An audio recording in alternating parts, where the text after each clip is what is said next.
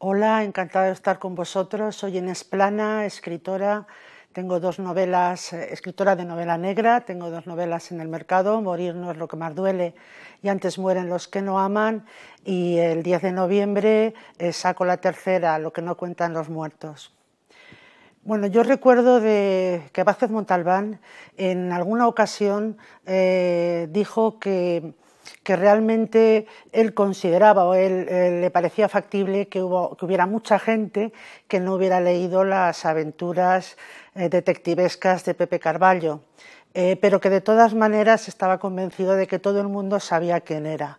Y tenía razón, porque este detective icónico se hizo muy popular en, España y en otros países, sobre todo por sus singularidades como era el ser un detective gourmet, eh, la costumbre que tenía de encender la chimenea con páginas arrancadas de sus libros, eh, de los libros que había leído, eh, y luego pues también esa personalidad contradictoria, porque de hecho él había militado en el Partido Comunista de España, pero también fue agente de la CIA e incluso guardaespaldas del presidente Kennedy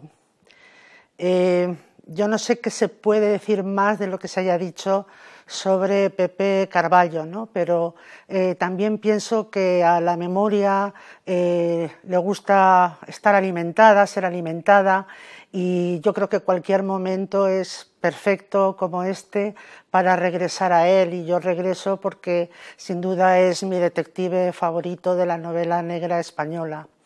Eh, Pepe Carballo catalán de origen gallego, enamorado de Barcelona. En las novelas hay unas descripciones muy vivas de la ciudad y de sus gentes. Eh, fue un cronista involuntario o no de la historia de España de finales del siglo XX. Eh, realmente eh, todas las novelas, empezando por, la primera, Yo maté a Kennedy, que surge, que sale, que se publica en el tardofranquismo en 1972 hasta la última póstuma en el 2004, Milenio Carballo, eh, es una crónica casi eh, escrita, por decirlo de alguna manera, en directo eh, sobre la historia de España de las tres, de las tres últimas décadas de ese siglo y, también a lo largo de 25 novelas. Eh, es una crónica eh, donde se refleja el contexto histórico de cada momento. Vázquez Montalbán escribía la novela, eh, cada novela en el contexto que estaba sucediendo en ese momento, como pueden ser las Olimpiadas. Eh, descubrí a Pepe Carballo en la novela Asesinato en el Comité Central de 1982, eh, donde se asesinaba nada menos que al secretario general del partido.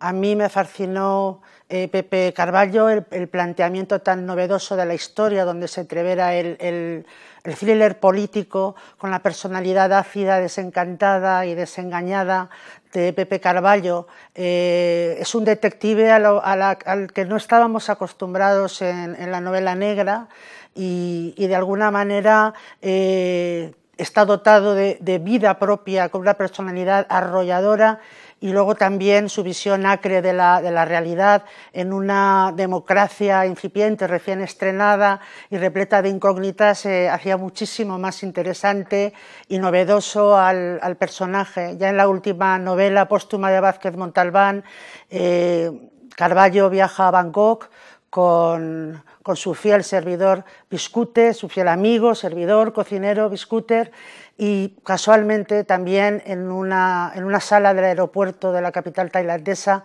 eh, falleció Vázquez Montalbán de un paro cardíaco. Parece que el destino quiso unir en el viaje final al autor y a su personaje, aunque bueno, eh, son inmortales, están con nosotros y siempre lo, lo seguirán estando.